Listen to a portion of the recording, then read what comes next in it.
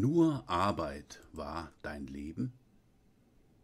Matthäus Kapitel 16, Verse 25 bis 27. Denn wer sein Leben retten will, der wird es verlieren. Wer aber sein Leben verliert um meinetwillen, der wird es finden. Denn was hilft es dem Menschen, wenn er die ganze Welt gewinnt, aber sein Leben verliert? Oder was kann der Mensch als Lösegeld für sein Leben geben? Denn der Sohn des Menschen wird in der Herrlichkeit seines Vaters mit seinen Engeln kommen, und dann wird er jedem Einzelnen vergelten nach seinem Tun. Warum ist der Glaube oder die Vermutung an die Evolution, also der Theorie vom Recht und Überleben des Stärkeren, nach wie vor so beliebt und viel beschworen und sozusagen anerkannt in unserer Gesellschaft? Es ist für viele Menschen einfach die bequemste Lösung. Die Lösung vom Affen abzustammen, weil man sich ja dann auch nicht um seine Seele Sorgen machen müsste. Es ist aber ziemlich dumm, sich keine Gedanken über das zu machen, was nach dem unausweichlichen Tod mit einem geschieht. Und da passiert definitiv etwas. Manche glauben sogar, dass sie von Außerirdischen abstammen oder sogar selbst Götter sind. Andere, die zumindest glauben, eine Seele zu haben, versuchen selbst für deren Wohlbefinden zu sorgen durch verrückte Dinge oder durch die Dinge, von denen sie sich irgendetwas erhoffen im Leben und im Sterben. Umgangssprachlich sagt man, das letzte Hemd hat keine Taschen. Ja, und das, das stimmt sogar, das ist korrekt. Wenn es nun einen Gott gibt, dann ist unser irdischer Reichtum oder auch unsere Armut so ziemlich das Letzte, woran Gott Interesse hätte. Lukas 12, 20 und 21. Darum geht es nicht. Wir sollten vielmehr reich bei Gott sein, indem wir Schätze im Himmel sammeln, die auch nach unserem irdischen Tod für uns noch da sein werden und einen Wert besitzen. Matthäus 6, 19 bis 21. Hier geht es also nicht um das Recht des Stärkeren oder um evolutionäre Gegebenheiten. Hier geht es um den lebendigen Gott und seinen Plan und seinen Willen mit dieser Welt und auch um dein persönliches Leben, um den Sinn des Lebens. Und hier muss der Glaube an die Vergebung deiner Sünden durch Gottes Sohn Jesus Christus ganz oben stehen. Und zwar in deiner und in meiner Prioritätenliste. Das Kreuz von Golgatha muss sozusagen der Mittelpunkt unseres Lebens, unseres Glaubens sein und werden. Darauf baut sich alles weitere auf. Hier beginnt sozusagen mein Weg mit Gott, meine Jüngerschaft und Nachfolge und Heiligung und der Sinn meines Erdenlebens. William MacDonald schreibt in seinem Bibelkommentar hierzu folgendes.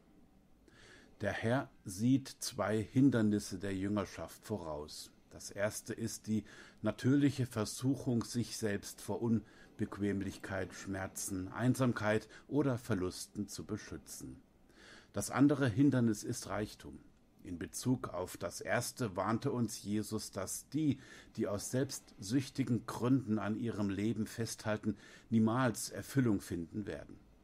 Die jedoch, die ihr Leben rücksichtslos an ihn ausliefern und dabei nicht auf die Kosten achten, werden den Sinn ihrer Existenz erkennen. Die zweite Versuchung, nämlich reich zu werden, ist völlig irrational.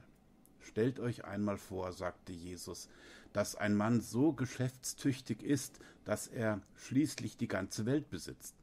Diese verrückte Jagd nach Reichtum würde so viel von seiner Zeit und Energie kosten, dass er das eigentliche Ziel seines Lebens verfehlen würde. Was wäre es nütze, so viel Geld zu verdienen, dann zu sterben und die Ewigkeit mit leeren Händen zu verbringen? Der Mensch ist auf der Erde, um Größeres zu vollbringen, als ein Vermögen zusammenzuraffen. Er ist gerufen, die Interessen seines Königs zu vertreten. Wenn er dieses Ziel verfehlt, ist sein ganzes Leben umsonst. In Vers 24 hatte Jesus den Jüngern das Schlimmste vorhergesagt. Das ist ein Kennzeichen des Christentums. Du weißt am Anfang genau, was im schlimmsten Falle auf dich zukommt. Aber du wirst nie damit zu Ende kommen, die Schätze und Verheißungen zu entdecken. Bahnhaus, ein Übersetzer, hat das schön ausgedrückt. Wenn man alles Unerfreuliche der Schrift gesehen hat, dann ist nichts, was einen noch erstaunen könnte. Alles Neue, das wir in diesem Leben oder im nächsten Leben entdecken werden, wird für uns eine Freude sein. Nun erinnert der Herr die Seinen an die Herrlichkeit, die auf das Leiden folgen wird. Er weist auf seine Wiederkunft hin, wenn er mit seinen Engeln in der überirdischen Herrlichkeit seines Vaters auf die Erde zurückkehren wird. Dann wird er die belohnen, die für ihn leben. Der einzige Weg zu einem erfolgreichen Leben ist, sich in diese wunderbare Zeit zu versetzen, sich zu entscheiden, was dann noch wirklich wichtig ist und dann mit aller Kraft danach zu handeln. Soweit. Niemand lebt für einen anderen. Sicherlich kann und sollte man sich auch um andere Menschen kümmern, das ist klar. Und es sollte ebenso selbstverständlich sein, dass man sich um seine Kinder und Angehörigen kümmert, aber keiner lebt letztlich mehr in seiner eigenen Existenz und seiner subjektiven Gefühlswelt als man selbst. Es kann daher auch keiner wirklich behaupten, immer nur für andere dagewesen zu sein und nie an sich selbst gedacht zu haben. Man kann durch selbstverordnete Selbstlosigkeit auch vor sich selbst davonlaufen und vor Gott. Wenn auf manchen Grabsteinen steht, nur Arbeit war sein Leben, nie dachtest du an dich, dann ist das eigentlich nicht das, was ein Menschenleben lebenswert macht. Arbeit muss sein, aber nur Arbeit und Arbeit als Lebensinhalt, ist das der Sinn des Lebens? Der Glaube hat Werke, keine Frage, aber es sollten Glaubenswerke und nicht Lebenswerke sein. Nur Arbeit war sein Leben, ist das glaubwürdig und wahr? Dieses Zeugnis gebührt auch keinem Menschen. Nur von Jesus Christus kann man so etwas sagen. Und wenn das Leben sonst nichts zu bieten hätte, wo bleibt dann die ganze Arbeit? Es geht doch letztlich nur um Gott.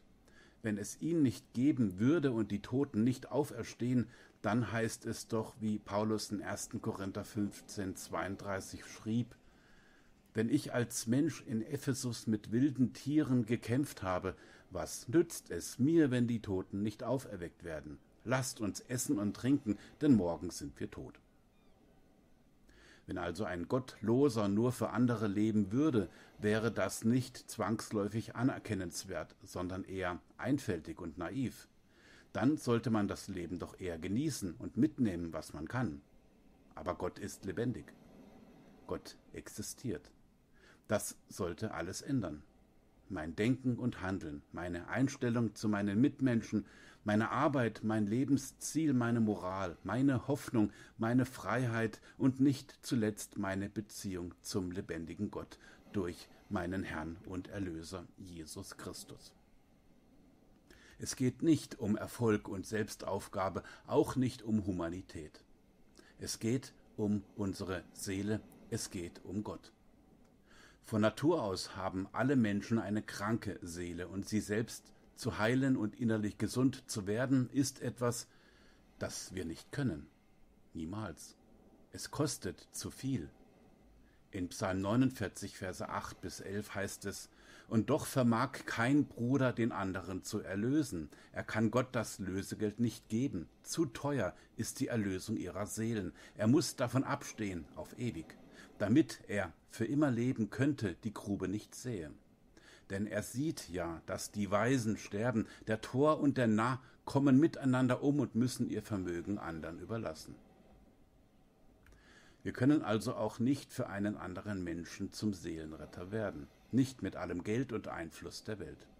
Wer diese wesentliche Feststellung der Bibel verstanden und begriffen hat, wird in allererster Linie Gott dienen wollen und nicht dem Geld. Lukas 16, 13. Schätze zu horten in Bezug auf den eigenen Seelenfrieden oder in dem Zusammenhang zu vererben, wäre so effektiv wie Sand in die Sahara zu tragen. Wenn wir Christen sind, dann sollten wir vor allem für unsere ungläubigen Angehörigen ein Zeugnis sein, für sie beten, ein gutes Leben ihnen vorleben und auf andere Art und Weise Sorge zu tragen für ihre Seele. Sicherlich nicht, indem wir unsere Reichtümer in die Waagschale werfen oder sonst irgendetwas, was die Gnade Gottes und seine Barmherzigkeit ausschließen würde. Die alten, reichen Ägypter ließen sich nach ihrem Tod mit vielen Schätzen in Pyramiden begraben und einbalsamieren, um im Totenreich gut ausgerüstet zu sein. Sie wollten ihr Seelenheil und ihre Unsterblichkeit durch Kosmetik und Gold erkaufen. Sie glaubten an Vorsehung durch Macht. Soll man darüber weinen oder lachen? Es wird ihnen nichts helfen, wenn sie in ihren Sünden gestorben sind. Für uns Christen darf es glücklicherweise heißen, was Paulus in Philippa 1,21 geschrieben hat. Denn Christus ist mein Leben und Sterben mein Gewinn.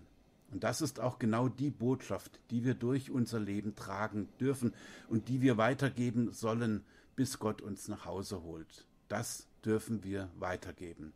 Im Glauben, im Vertrauen, auch gerade den Menschen, die uns nahe stehen, für die wir Hoffnung haben möchten, dass sie nämlich auch das rettende Evangelium ergreifen und nicht verloren gehen.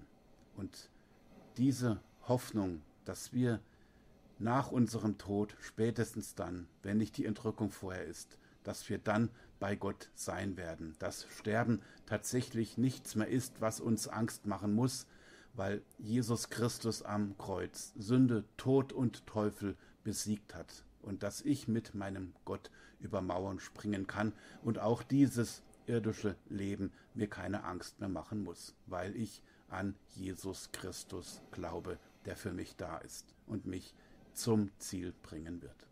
Gelobt und gepriesen sei sein Name, der Name, unter dem wir selig werden dürfen.